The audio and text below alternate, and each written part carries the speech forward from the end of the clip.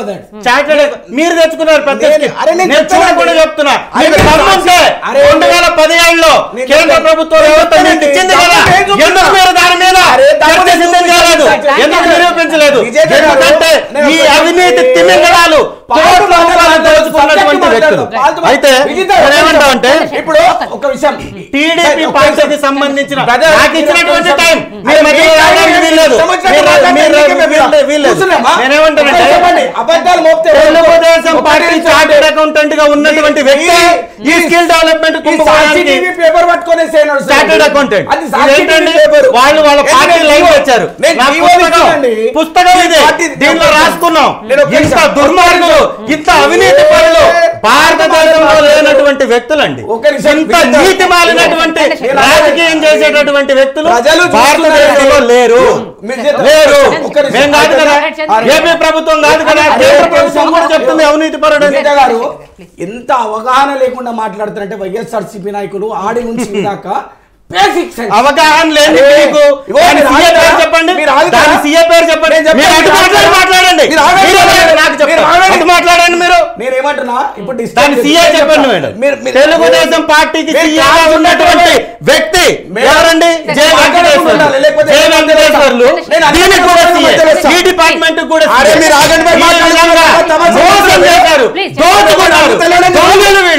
దుర్మార్గులు వీళ్ళు. ఇలాంటి పార్టీని. ప్రజలు గమనించారు కాబట్టి? ఇరవై మూడు సీట్లకి. అర్థమైందా? ఒక నిమిషం. సాక్షులకు బుద్ధి లేదు.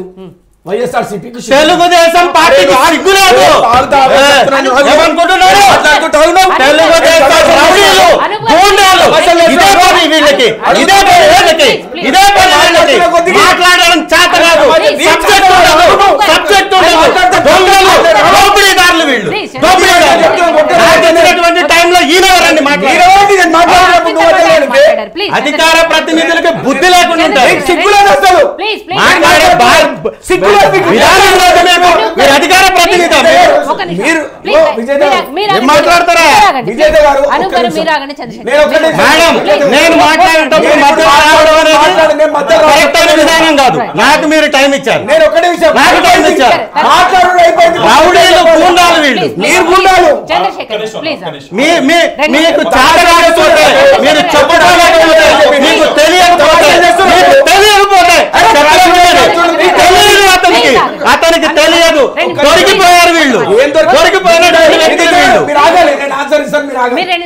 నేను ఆగను నేను మాట్లాడతాను. సీన్ లేదులే కూర్చోండి. వీళ్ళకు ఎంత. ఒక్క విషయం వీళ్ళకి ఎంత మోసపూరితం అంటే వైసీపీ నాయకులు జీవో నంబర్ ముప్పై ఏడు. ఇరవై రెండు రెండు వేల పదహారు. నలభై రెండు కోట్ల administrative sanction. L Premchandar Reddy గారు first GO number first. GO number మీరు మధ్యలో. మీరు మధ్యలో? మీరు మీరు ఎందుకు ఏమి? వస్తున్నారు? మీరు ఎందుకు మధ్యలో వస్తున్నారు అక్కడ మాట్లాడండి మీరు. మీరు అక్కడ మాట్లాడండి మీరు ఎవరైనా నాతో మాట్లాడండి మరి మీరు ఎవరు? మీరు ఎవరు మాట్లాడండి? మీరు అటు మాట్లాడండి మీరు మాట్లాడండి. చేత కాకపోతే తెలియకపోతే ప్లీజ్.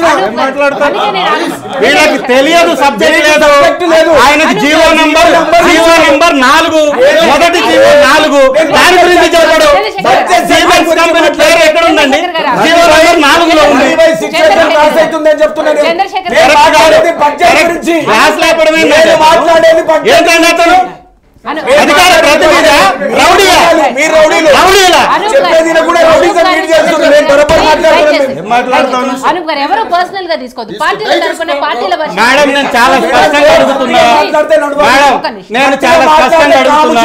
నేను మిమ్మల్ని అడుగుతున్నా. నేనేమంటున్నా నాకు సమయం ఇచ్చినప్పుడు వాళ్ళు మధ్యలో ఎందుకు వస్తున్నారు? ఇరవై రెండు మాట్లాడు. నిమిషాలు మాట్లాడితే నేను మధ్యలో మాట్లాడలేదు. ఇరవై రెండు నిమిషాలు మాట్లాడారు వాళ్ళు. సీఎం గారిని ఏమన్నారండి? ఏం మాట్లాడారు సీఎం గారిని? ఏ విధమైనటువంటి పదజాలాన్ని అయినా చేసుకోండి. అంటే ఏంటి వీళ్ళ విధానం? ఇదా?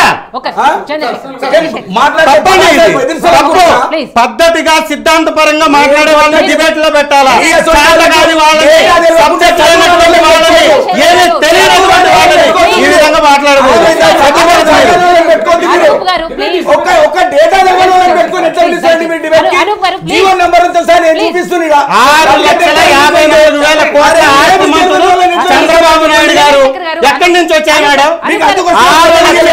ఆరు లక్షల యాభై నాలుగు వేల కోట్ల రూపాయలు చంద్రబాబు నాయుడు గారు. ఆస్తి ఎక్కడి నుంచి వచ్చింది? ఎక్కడి నుంచి వచ్చింది ఆస్తి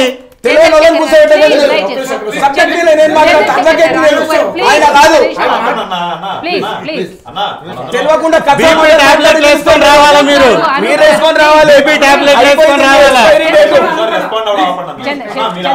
బేసిక్ సబ్జెక్ట్ బాస్, ఎవరిది? సమయం. సమయం మార్చేశారు పిచ్చోళ్ళమ్మా మేము జీవోలు తీసుకొని అరే సాక్షి పేపర్ పట్టుకొని వచ్చి మాట్లాడితే నడుస్తుందా? ప్లీజ్ ప్లీజ్ అనూప్ గారు please please too much please ఒక రెండు రెండు నిమిషాలు. రౌడీజం కాదనుకురా? రె- రెండు నిమిషాలు మీరు ఆగండి. ప్లీజ్ దయచేసి. అందుకే నేను రిలాక్స్ అవ్వండి బోస్ గారు మాట్లాడతారు అని చెప్పాను. అరే అందుకే నేను నా అవ్వలేదు నేను మాట్లాడి కంప్లీట్ చేసిన తర్వాత తనకి ఇవ్వండి నేను మాట్లాడిన. తర్వాత తనకి ఇవ్వండి నేను కంప్లీట్ అయిన తర్వాత తనకి ఇవ్వండి. నేను మాట్లాడుతుంటే డిస్టర్బెన్స్ జీవో నెంబర్ చెప్తుంటే. కావాలంటే సార్ చూసుకోండి. కాదు కాదు నాది కంప్లీట్ అవ్వలేదు. నేను మాట్లాడిన తర్వాత తనకి. నేను మాట్లాడిన తర్వాత తనకి సార్. నేనేమంటానంటే మేడం విజిత గారు. ఉన్నది మాట్లాడితే ఉలుకుపాటు వీళ్ళకి. నేను చాలా స్పష్టంగా అడుగుతున్నా. ఎక్కడ కూడా డీవియేషన్ లేదు మూడు వందల డెబ్బై కోట్ల రూపాయలు కాజేసినటువంటి ఈ పందికొక్కులు మూడు వేల కోట్ల రూపాయలు ఎక్కడ ల్యాండ్ అయ్యాయి రైట్, చూపించమంటున్నాం నేను అదే అన్నా. Point to ల్యాండ్ ల్యాండ్ ఎక్కడ అయ్యాయి. చూపించమంటున్నాం తర్వాత ఏదో ఒక. కాలేజీలో ఏదో ఒక కంప్యూటర్ పెట్టి అదే స్కిల్ డెవలప్మెంట్ సెంటర్గా చూపించడం అనేది వీరు చేస్తున్నటువంటి విధానం తప్పుడు ప్రచారం నేనేమంటున్నానంటే చంద్రబాబు నాయుడు గారు నలభై సంవత్సరాల నుంచి దోచుకున్నటువంటి వ్యక్తి అని డేటా చూపిస్తుంది. ఆయనే రెండు వేల పద్దెనిమిదిలో చంద్రబాబు నాయుడు గారు లక్ష కోట్లు నా ఆస్తి అన్నటువంటి బయట నా దగ్గర ఉంది నేను ప్లే చేస్తా. ఎక్కడి నుంచి వచ్చాయి సార్? మీ ఖర్జూరావు నాయుడు గారు మీ తండ్రి గారు మీకు ఇచ్చినటువంటి ఆస్తి రెండు ఎకరాలు. రెండు సెంట్ల భూమి మీకు ఎక్కడి నుంచి వచ్చాయి? ఇవాళ మీరు కలిగి ఉన్నటువంటి నాకు పూర్తి సమయం ఇవాళ. హైటెక్ సిటీలో నూట ఇరవై ఎకరాలు కుప్పంలో రెండు వేల ఒక వంద నలభై ఐదు ఎకరాలు. మాట్లాడుకోండి. నెల్లూరు బల్లాలపల్లిలో మూడు వందల ఎకరాలు. కాదండి. నేను అదే చెప్తున్నా. ఆగమని నేను చెప్తున్నాను. కంప్లీట్ చేసిన తర్వాత. చెప్పానండి ఇదే ఫైనల్. వన్ మినిట్ వన్ మినిట్లో. చెప్పారు. కదా తర్వాత ఆయన ఆన్సర్ చేసిన తర్వాత మళ్ళీ మీరు వన్ మినిట్లో ఫినిష్ Please. చేస్తా Answer వన్ చేసిన మినిట్ తర్వాత మాట్లాడండి. ఆయనని సుదీర్ఘంగా పది నిమిషాలు ఇవ్వండి నేను చాలా క్లియర్గా మీరు- అడుగుతున్నా మీరు చెప్పాల్సిన చంద్రబాబు నాయుడు? గారికి ఎస్. ఎస్ చంద్రబాబు నాయుడు గారు అవినీతికి పాల్పడకపోతే ఇవాళ వారి ఇండ్లు ఐదు ఎకరాల్లో ఉంది హైటెక్ సిటీలో నూట ఇరవై ఎకరాలు ఉంది కుప్పంలో రెండు వేల ఒక వంద నలభై ఐదు ఎకరాలు ఉంది నెల్లూరు బల్లాలపల్లిలో మూడు వందల ఎకరాలు ఉంది ఒడిశా గోపాలపురంలో వంద ఎకరాలు బెంగళూరులో వెయ్యి కోట్లతోటి ఫ్రూ ఫ్రూట్ పల్స్ ఒక కంపెనీ ఉంది. బెంగళూరులో మూడు ఎకరాల్లో గోల్డెన్ ప్యాలెస్ ఉంది. ముంబైలో ముప్పై విల్లాలు ఊటీలో నలభై ఐదు విల్లాలు చెన్నైలో పద్నాలుగు విల్లాలు బీచ్ రోడ్లో. బెంగళూరులో పదిహేను విల్లాలు. అట్లాగే ఒక హెరిటేజ్ ఆస్తి పదిహేను వేల నాలుగు వందల పదకొండు కోట్లు ఇవన్నీ కలిపి ఆరు లక్షల నలభై ఐదు? వేల కోట్ల ఆస్తి మంత్రులు? చంద్రబాబు నాయుడు ఎలా అయ్యాడు. ఖర్జూరావు నాయుడు గారికి ఉన్నటువంటి రెండు ఎకరాలు రెండు సెంట్లు భూమితో వచ్చిన చంద్రబాబు నాయుడికి ఆరు లక్షల నలభై ఐదు వేల కోట్ల రూపాయలు ఎట్లొచ్చింది. ఇది మీరు చెప్పండి. లక్ష చంద్ర- చంద్రబాబు నాయుడు అన్నాడు కదా ఎట్లా సంపాదించాడు? ఏ వ్యవస్థను అడ్డం పెట్టి సంపాదించాడు? చిత్తూరు డైరీని నాశనం చేసినటువంటి వ్యక్తి హెరిటేజ్ని మాత్రం లాభాల్లోకి ఎలా తీసుకెళ్ళాడు వీటి గురించి చెప్పగలిగితే దమ్ముంటే సిద్ధాంత ప్రకారం చెప్పమనండి. సరే దానికి ఆయన ఆన్సర్ చేస్తారు. వాళ్ళు వ్యాపారంలో ఉన్నారు ఫస్ట్ థింగ్ రెండోది ఇంకోటి జగన్ గారు ఆస్తులు డెఫినెట్గా. డెఫినెట్గా మాట్లాడు. జగన్ గారు వచ్చింది నాలుగు సంవత్సరాలండి నలభై సంవత్సరాలు చంద్రబాబు గారు అది కూడా మాట్లాడదాం డెఫినెట్గా చెప్పండి. మాట్లాడు ఇప్పుడు నేను మాట్లాడేటప్పుడు మధ్యలో మాట్లాడితే మాత్రం బాగుండదు నేను. క్లారిటీ. చెప్పండి. గౌరవ మాట్లాడేది- సీఎం గారిని గౌరవంగా మాట్లాడతారు. మాట్లాడదాం. మాట్లాడదాం. మీరు అన్నప్పుడు మేము వినలేదా. అయితే వైసీపీ వాళ్ళకు బేసికల్గా బుద్ధి లేదు నేను మాట్లాడేది మూడు వందల డెబ్బై నేను skill development corporation GO number four నుంచి అయింది మాట్లాడతలేను ఇక్కడ. అట్లా మాట్లాడదామంటే నేను మధ్యాహ్నం డిబేట్ ఇచ్చిన ఒకసారి క్లిప్ మాపండి నేను బేసికల్గా తెలుగుదేశం పార్టీ వాళ్ళు మేము. డేటా తీసుకొని నేను ఒక హైకోర్టులో న్యాయవాదిగా నేను ఎన్నో సంవత్సరాల నుంచి పనిచేస్తున్నాను. నేను మీరు మూడు వందల డెబ్బై ఒక్క కోట్లు మీ సాక్షిలో పై డయాగ్రామ్ చార్ట్ తీసుకొని వచ్చి మీరు చూపిస్తే చెల్లదు. నేను మీరు అధికారంలో ఉన్నారు కదా ఇప్పుడు వైసీపీ నాయకులు. మీ దగ్గర జియో కాపీలు ఉంటాయి కదా. మీరేమన్నారు? మూడు వందల డెబ్బై ఒక్క కోట్లు గవర్నమెంట్ రిలీజ్ చేసింది అన్నారు. మూడు వందల డెబ్బై ఐదు కోట్లు గవర్నమెంట్ రిలీజే చేయలేదు. ఫస్ట్ థింగ్ నేను చెప్పేది జియో నంబర్ పదమూడు జియో నంబర్ ముప్పై ఏడు ఇరవై రెండు రెండు వేల పదహారు రోజు నలభై రెండు కోట్లు రిలీజ్ చేశారు. ఫస్ట్ టైం ఎవరు సంతకం పెట్టారు దానికి? ప్రేమ్ చంద్రారెడ్డి గారు కార్యదర్శి హోదాలో సంతకం పెట్టారు రెండోది జీవో నంబర్ యాభై ఆరు ఇరవై ఒకటి మూడు రెండు వేల పదహారు. ముప్పై నాలుగు పాయింట్ ఇరవై ఐదు కోట్లు మళ్ళీ రిలీజ్ చేశారు. ఎవరు చేశారు? ప్రేమ్ రెడ్డి గారు అధికార హోదాలు. ఐదు పన్నెండు రెండు వేల పదిహేను. చెక్ నంబర్తో సహా చెప్తున్నా నేను. Three five zero eight two six. నూట ఎనభై ఐదు కోట్లు మళ్ళీ చెక్ రిలీజ్ చేశారు. టోటల్ ఎన్ని డబ్బులు? మూడు వందల డెబ్బై ఐదు కోట్లు ఎవరు రిలీజ్ చేశారు? ఈ డేటా తప్పని చెప్పమనండి. ఈ డేటా తప్పని చెప్పమనండి. ఎవరు రిలీజ్ చేశారు మూడు వందల డెబ్బై ఒక్క కోట్లు? ఇక్కడ జియో నంబర్లతో సహా మీకు చెక్ నంబర్లతో సహా ఎంత రిలీజ్ అయింది అనేది మేము చెప్తున్నాం.